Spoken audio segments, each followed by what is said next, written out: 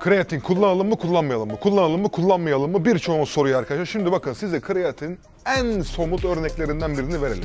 Diyelim siz kreatinsizsiniz. Şöyle başladığınız hareketi yapmaya. Böyle bir hızlıca 7 tekrar yaptığımız için.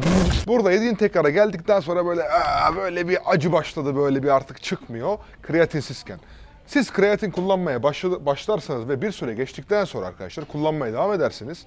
Bu 7 tekrar 7. tekrara daha rahat geliyorsunuz bu sefer etkilerinden biri ve bu 8, 9 hatta 10'a doğru gidiyor. Yani kreatin sizin kuvvet performansınızı arttırıyor.